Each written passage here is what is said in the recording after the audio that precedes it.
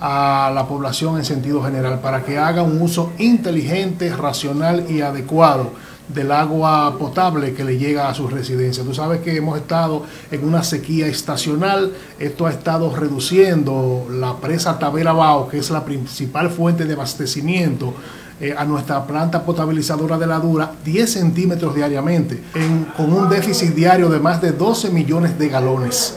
Esto se transfiere a la población que está sintiendo en muchos puntos eh, el déficit de agua potable. Nosotros hemos anunciado una serie de medidas que hemos estado ah, eh, eh, poniendo en funcionamiento desde hace un mes hacia acá para tratar de paliar y de llevarle un poco de agua a esas comunidades que así lo necesitan.